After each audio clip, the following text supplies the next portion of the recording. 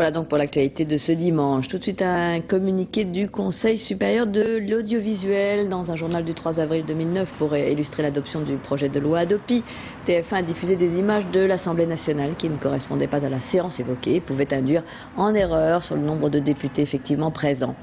Dans un journal du 12 avril, un commentaire relatif à un rassemblement confessionnel au Bourget n'était pas totalement conforme à la réalité et aux images diffusées. Une précédente erreur, l'annonce inexacte de la mort d'un enfant porté disparu ayant été commise dans un journal de le vendredi 8 août 2008.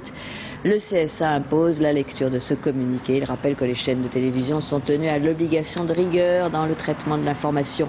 Un communiqué qui ne doit être accompagné d'aucun commentaire écrit ou oral, précise le CSA. Fin de citation.